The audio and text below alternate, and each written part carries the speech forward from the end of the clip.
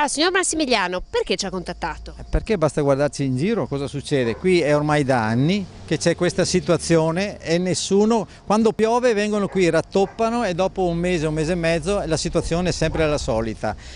Per quanto poi riguarda il capannone qui abbandonato a se stesso, erbe, bisce, toppi, e, e, e, quant'altro perché poi succede di tutto, no? Sembra una strada abbandonata di periferia, con l'asfalto rattoppato, un'attività commerciale chiusa da anni in cui colombi, topi e bisce hanno nidificato, utilizzata spesso come latrina. Invece siamo in via Ricasoli, alle porte del centro, in quartiere Fornaci.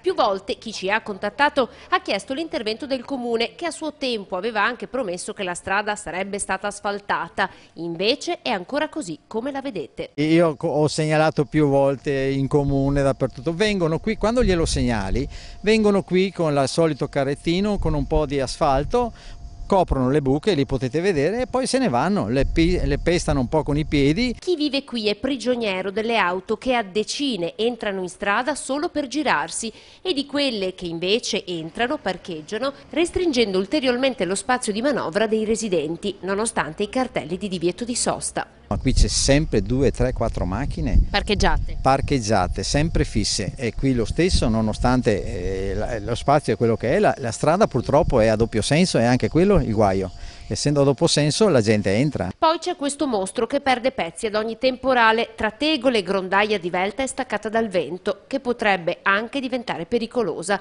per non parlare dello stato di abbandono con le erbacce che hanno colonizzato la strada. Il signor Massimiliano le ha tagliate ogni tre mesi, ora ha deciso di dire basta.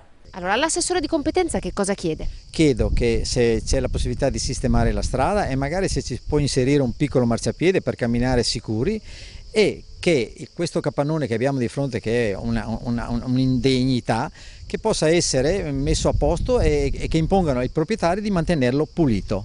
E come noi siamo soliti fare porteremo immediatamente il messaggio al destinatario.